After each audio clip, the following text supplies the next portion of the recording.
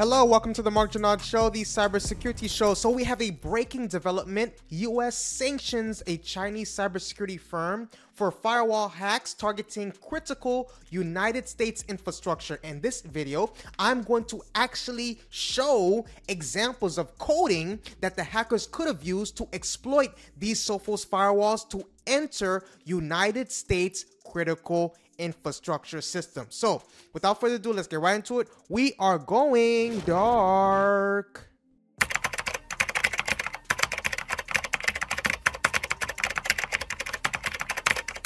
So the steps are seven. We have seven steps that I am going to discuss. So these are the seven steps that the hackers could have potentially used Step one, uh, you know, for the for the CVE 2022-1040 Sophos firewall vulnerability was, you know, target the user portal and web admin interfaces of vulnerable Sophos firewall versions. That's the 18.5 MR3 and older. So to target the user portal and web admin interfaces of Sophos firewall, you'll need to access them through specific ports and URLs. So here is how to reach each interface, right?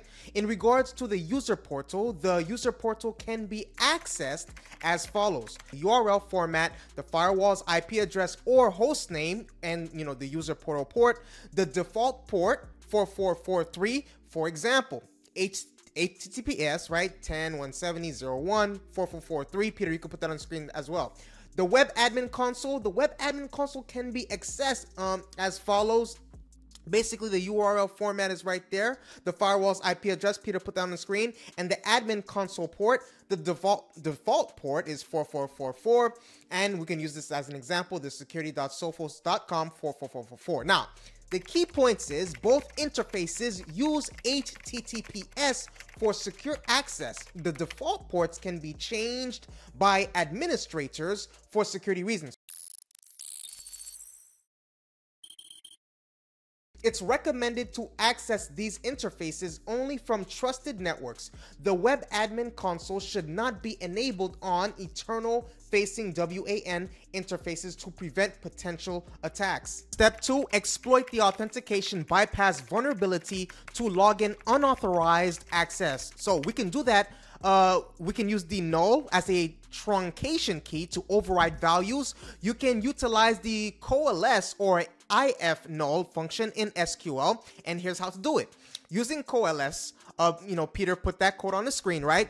And using if null, that's the M, that's the MySQL specific. Peter, please put that code on the screen. So these functions will replace the existing value with null in the first argument, uh, you know, and that is null.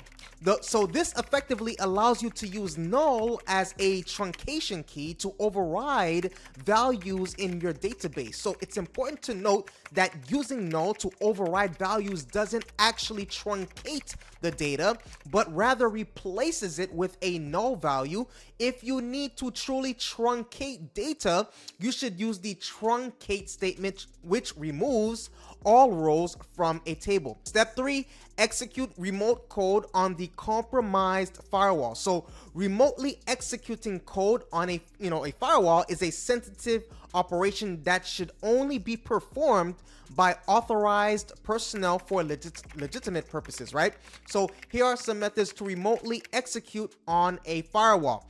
Number one, use PS uh, exec. So PS exec is a utility that allows you to execute commands on remote computers, right? To use it, you're going to want to open an administrative command prompt, navigate to the PS exec directory, run the command PS exec computer name, and Peter, you could put that code on the screen for the viewers. Use the netsh firewall commands to manage the firewall. Use management instrumentation command line which is you know the WMIC. Open an administrative command prompt. You can do that by running and WI, you know, WMI, sorry, not WI, WMIC. And Peter put that code on the screen since I messed up. Put all that, you know, so that they have clear, clear indication of what to do, right? You're gonna want to replace the computer's name with the firewall's host name and your command with the desired command. Now, use SSH, right? If the firewall supports SSH, connect using SSH user at firewall server execute commands directly on the remote system.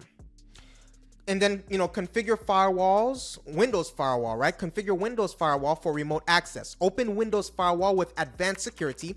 Create new inbound rules for required ports like the tcp 445 and udp 137 allow the remote debugger through the firewall now four that was step three. Here's step four which is drop a web shell backdoor to establish persistence. So to establish persistence using a web shell backdoor create a malicious PHP uh, you know script containing a you know a backdoor payload.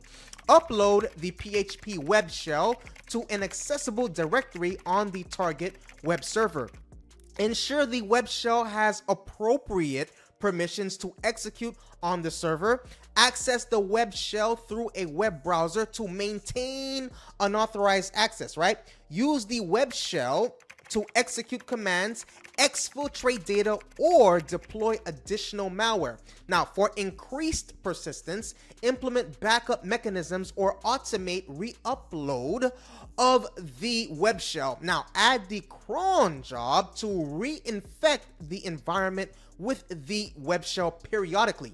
Exploit vulnerabilities to automatically reinstate the web shell if removed. Now, Remember that using web shells for unauthorized access is illegal and unethical. So this information is provided for edu educational purposes only, guys. Don't be out here walling.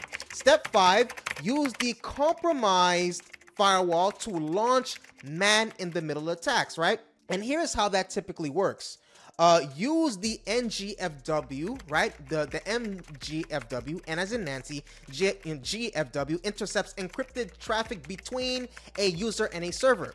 It decrypts the traffic using its own certificate, which is added to the user's device as a trusted root certificate. The firewall inspects the decrypted data for security threats or policy violations. The traffic is then re-encrypted and sent to its intended destination. This process allows organizations to monitor and control network traffic, but it's important to note that this is not considered a malicious attack when done by authorized network administrators for legitimate security purposes. However, the same technique could be exploited by hackers if they gain control of you know network infrastructure to implement this corporate environment configure the ngfw to perform ssl tls uh, inspection, deploy the firewall's root certificate to all managed devices, set up policies for traffic inspection and logging. It's crucial, you know, for organizations to inform users about this practice and implement strong access control to prevent misuse. Now, step six is harvest information from MITM attacks to expand the attack surface. Now, uh, credential harvesting attack. Now, the example uh, we can use, you know, using Kali Linux. The prerequisites, you know, a system running Kali Linux, the social engineering toolkit installed. Uh, open the terminal, right? Open the terminal, launch, you know, the terminal in your Kali Linux environment. Start social engineering toolkit type the following command and press enter. Peter, put that code on the screen. Select attack type, choose the first option for social engineering attacks, then select web uh, attack vectors, choose credential harvesting method, select the third option, credential harvester attack method, finally choose the site cloner, configure cloning, enter your local host IP address when prompted, input the URL on, you know, of the site you wish to clone, like, you know, Facebook, blah, blah, blah. Uh, deploy the clone. After entering the target URL, your local host will create a cloned version of the specified website. Share your local host IP address with potential victims disguised as the legitimate link. So harvest credentials when victims attempt to log in via the clone site, their credentials will be captured and displayed in your terminal, right? So how this relates to expanding attack uh, surfaces, Basically, as organizations adopt more cloud services, remote work, and IoT devices, their attack surface expands significantly. This increased exposure creates more opportunities for attackers to intercept communications through attacks like man in the middle. For instance, an attacker could exploit unsecured Wi-Fi networks or poorly configured devices to deploy such sniffers and capture sensitive data transmitted over the network. Step seven is as goals, right? It compromise systems beyond the initial target, right? Which involves these steps reconnaissance, which is the first stage, involves identifying potential targets and gathering information about the network. Two is weaponization. Once sufficient information is gathered, hackers create weaponized payloads tailored to exploit identified vulnerabilities. Three is delivery, right? In this phase, the attackers deliver the malware or exploit the target. Exploitation upon a successful delivery, hackers exploit the vulnerabilities to gain unauthorized access to the, to the system. Installation after exploiting the system, attackers typically install backdoors or other persistent malware to ensure continued access. Step six, command and control. With a foothold established, hackers can now take control of the compromised systems. Seven, lateral movement. Hackers often move laterally across the network to compromise additional systems. Uh, step eight, exfiltration and impact, right? Finally, hackers may ex exfiltrate sensitive data and disrupt operations as part of their objectives. Hit that subscribe button, hit the like button. See you in the next video.